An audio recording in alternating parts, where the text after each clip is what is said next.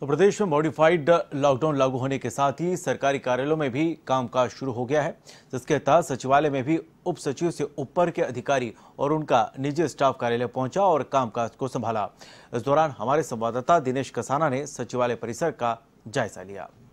इसमें आज से मॉडिफाइड लॉकडाउन लागू होने के साथ ही सरकारी कामकाज भी शुरू हो गया। अभी हम खड़े हैं शासन सचिवालय के बाहर, जहाँ पर आप देख सकते हैं कार्मिक हैं उनको हालाँकि नहीं बुलाया गया है, लेकिन जो अधिकारी हैं उप सचिव जॉइंट सेक्रेटरी स्तर के जो अधिकारी हैं, उनसे ऊपर के अधिकारियों को बुलाया गया है साथ ही उनका स्टाफ भी जो पर्सनल स्टाफ है, वो भी यहाँ पर पहुँचा है।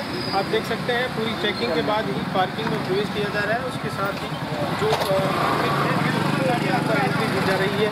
आप देख सकते हैं सचिवालय में पूरी सुरक्षा व्यवस्था की गई है। साथ ही जो कार्मिक हैं, उनकी अधिकारी है, उनकी जाँच की जा रही है। जाँच के बाद ही उन्हें प्रवेश दिया जा रहा है।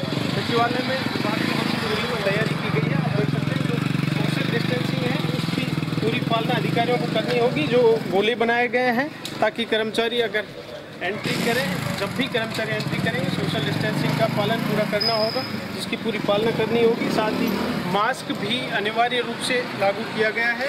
आरोग्य सेतु ऐप सभी जो अधिकारी हैं या कार्मिक जो भी आज सचिवालय पहुँचे उनको डाउनलोड करने के भी निर्देश दिए गए थे।